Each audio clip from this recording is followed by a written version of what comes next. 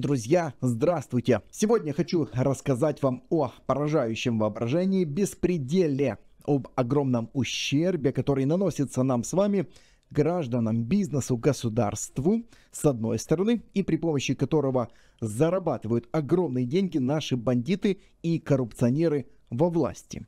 Речь сегодня пойдет о налоговой. По моему скромному мнению, именно сегодняшняя ДПС Украины устроена по-бандитски беспредельно, как никогда ранее. И это я сейчас вам продемонстрирую на поистине ошеломляющих фактах. Перед тем, как перейти к фактажу и документам, которые откровенно вергли меня в шок, необходимо рассказать предысторию и объяснить предмет моего расследования. Давайте вначале о предмете. Скажем так, это один из действительно безотказно и стабильно работающих, один из максимально эффективных инструментов по наполнению коррупционного общака ДПС Украины. Речь идет о комиссии по вопросам остановки регистрации налоговых накладных и корректировки в едином реестре. Название сложное и пугающее, но я вам сейчас очень просто и доступно все объясню. Как я уже сказал, эта комиссия один из самых эффективных инструментов по наполнению коррупционного общака украинской налоговой. А в регионах, то есть главных управлениях налоговой в областях, наверное, это чуть ли не самая главная тема. Наверняка вы много раз слышали о том, что блокируются налоговые накладные и видели массовые протесты и возмущения предпринимателей по этому поводу. Вот это как раз оно и есть. То есть собирается такая комиссия и решает, является ли предприятие X рисковым или не является.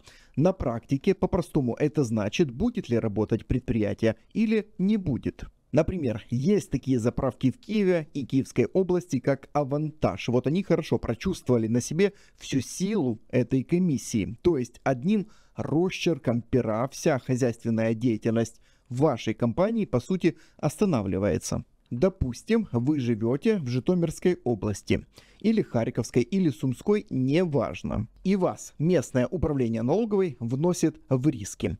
Вы можете пожаловаться в профильный департамент в центральном аппарате ДПС в Киеве. Если не помогает, идете в суд. В суде года через два вы, скорее всего, докажете, что вас незаконно ввели в статус рисковых но при этом ваше предприятие не будет работать два года. Вы потратите кучу денег на суды, а налоговикам, которые ввели вас в этот статус и по сути уничтожили ваш бизнес, по итогу ничего за это не будет. Ввиду такого положения вещей в нашей стране, в этот момент появляется альтернатива. Например, вы можете платить полтора процента дополнительного налога с оборота в месяц. Только этот налог не официальный, а теневой. Он идет кэшем начальнику в области, а потом начальник везет это все в Киев. Эта же комиссия влияет и на возмещение НДС. Потому как если ваша компания вдруг стала рисковой, то она не имеет права получать возмещение НДС. Поэтому если вы хотите получать возмещение, вперед за покупкой так называемого билета, то есть теневого платежа в карман налогового общака. Если помните, пару лет назад на дороге силовики остановили таможенника, который вез в Киев в багажнике своего автомобиля 700 тысяч долларов. Так вот, это то же самое и работает так же. То есть, по сути, в 90-х такая форма взаимоотношений называлась просто рэкетом. В регионе в такую комиссию входит около 10 человек, возглавляет эту комиссию заместитель начальника налоговой области, Принимаются решения всегда единогласно, так как понятийно все решения принимает начальник региона единолично. Кто проголосует не так, как сказал начальник, этого сотрудника выгоняют со службы. Обычный феодальный строй и бандитизм – ничего нового. То есть глава такой комиссии контролирует поток кэша в регионе, контролирует дань с белых предприятий, они платят за то, чтобы им не создавались проблемы, то есть не вносили в список рисковых. И таким же образом крышуются мусорные компании, которые просто накручивают НДС с воздуха и воруют деньги из бюджета. Еще раз, это главный инструмент по контролю финансовых потоков влиянию на бизнес, сбору денег, регулирования конкурентов на рынке, инструмент для создания монополии в регионе в его любом проявлении. Именно поэтому так важно контролировать в регионе эту комиссию. Думаю, это понятно. Так вот, весь этот теневой кэш, общак, касса, называйте как угодно, таким образом собирается в регионе, потом везется в Киев. Дальше по вертикали все это идет и замыкается на Евгении Сокуре, заместителя главы ДПС Украины. Он курирует это направление работы в регионах, понятное дело, в ручном и бандитском режиме, но об этом через несколько минут. За последние годы компании и людей, которые столкнулись с этим не иначе как вымогательством в полтора процента в виде теневого налога миллионы. Расцвет этого рэкета припадает на период, когда полный контроль над ДПС Украины взял Данил Гетманцев, глава комитета финансов, налоговой и таможенной политики Верховной Рады. Ни для кого не секрет, что именно Даниил Гетманцев принимает все кадровые решения по налоговой. Именно он назначил Татьяну Кириенко на роль исполняющей обязанности главы ДПС Украины, которая, по сути, марионетка, не принимающая никаких решений. Оперативное руководство темами происходит через заместителя Татьяны Кириенко Евгения Сокура, бывшего помощника Гетманцева. Ну и сама модель управления. Все перечисленные люди, условно говоря, в туалет не ходят перед тем, как спросить у патрона, можно ли. Поэтому куда собирается кэш по вертикали, вопрос риторический. А на предмет теневого налога в полтора процента спросите у своих друзей, платят ли они, возможно, платили ли, сами узнайте.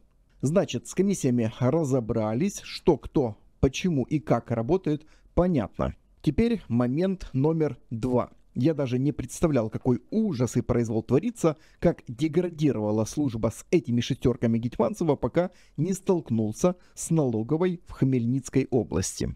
Уже ни для кого не секрет, что Данил Гетманцев поставил задачу любой ценой убрать оттуда Ирину Зеленко, действующего руководителя и неподконтрольного ему, и поставить свою марионетку на регион.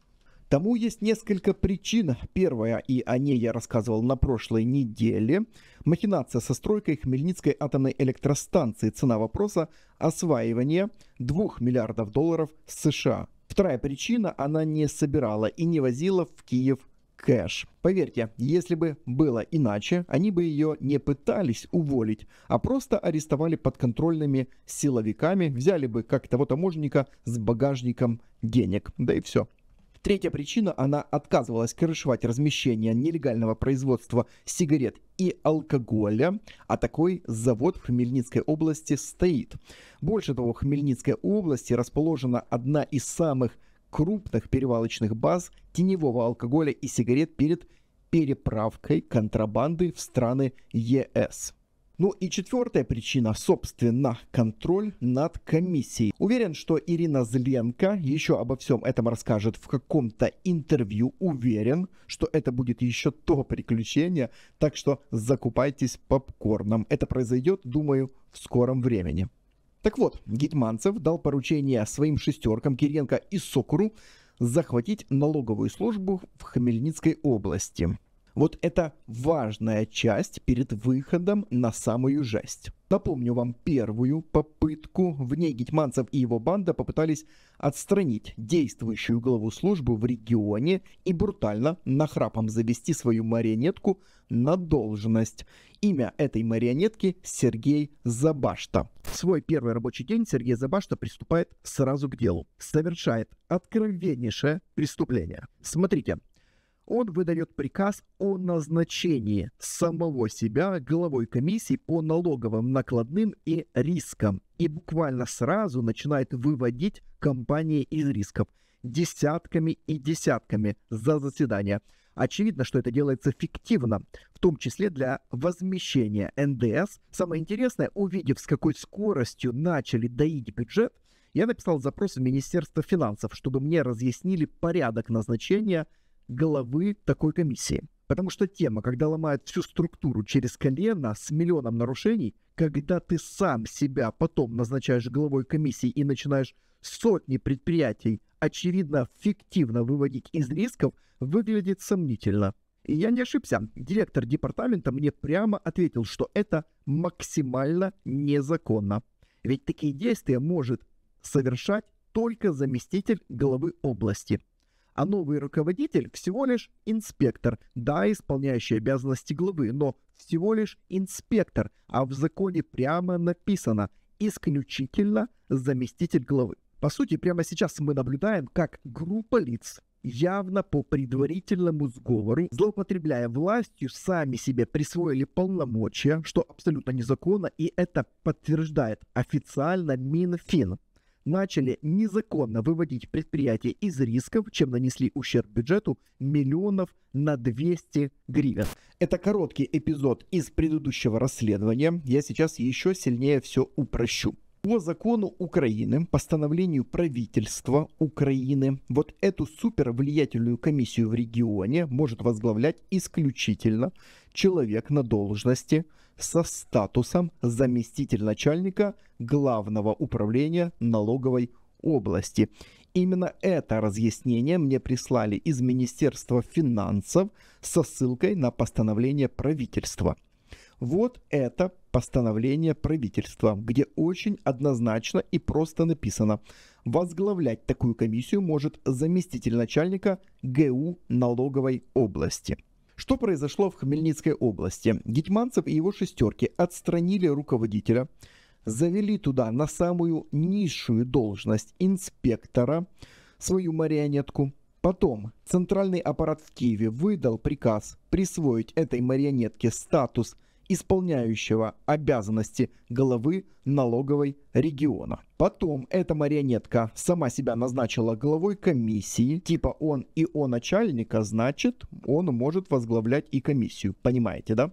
На самом деле это грубейшее нарушение закона, потому что должность этой марионетки – инспектор, то есть самая низшая должность, на которого возложили функцию ИО, обязанности главы ГУ, но исполняет он обязанности. Только от этого его должность не меняется, он остается низшим звеном в иерархии, обычным инспектором. То есть все заседания сотни компаний, по которым принято решение комиссии, которые он подписал, юридически ничтожны, незаконные и должны быть отменены. А это то, что они сразу и начали делать, поставив марионетку на должность. Пачками, пачками начали подписывать решения комиссий по компаниям.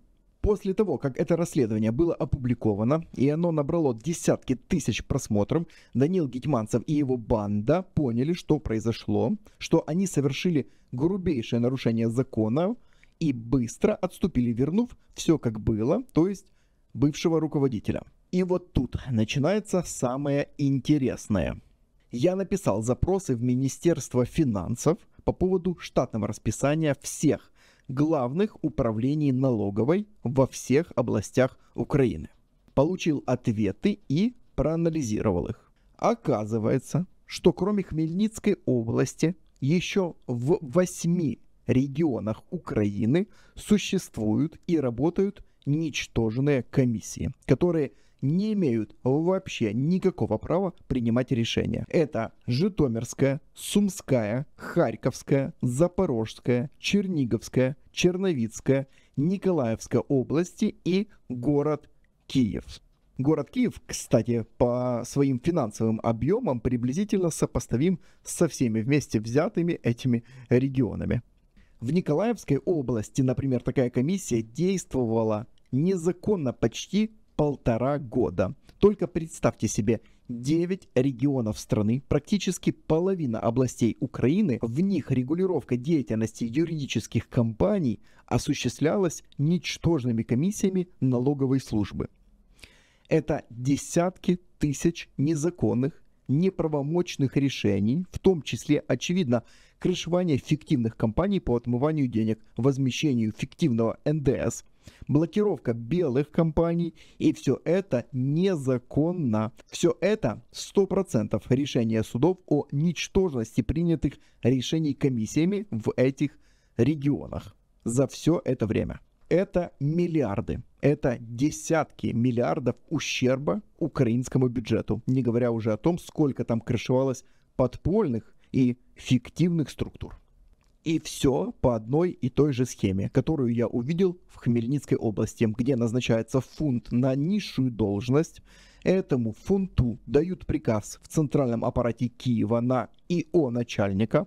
Потом он сам себя назначает главой комиссии и начинает подписывать десятки, десятки протоколов, сотни протоколов, что является преступной деятельностью, очевидно, по предварительному сговору, да еще и группой лиц. Вопрос к вам. Как вы думаете, вот 9 областей, где де-факто существует фиктивная деятельность налоговой центрального органа исполнительной власти, это все не замечается в центральном аппарате в Киеве? Нет, друзья, нет, ну конечно же нет. Кто за это отвечает и официально курирует? Евгений Сокур, помощник Данила Гетьманцева. Кто подписывает все эти документы и назначения? Татьяна Кириенко, глава налоговой фунт Гетьманцева. Наверное, расследование этого дела правоохранительными органами может показать самое масштабное разворовывание за всю историю существования украинской налоговой службы. И, кстати, обращаюсь к службе безопасности Украины. Обратите внимание, что среди этих областей, где была организована фиктивная работа комиссий области со строительством фортификаций. А весь вывод денег, воровство на фортификациях, видела ли комиссия эти движения? Ответ – конечно видела. Вопрос – почему не блокировала?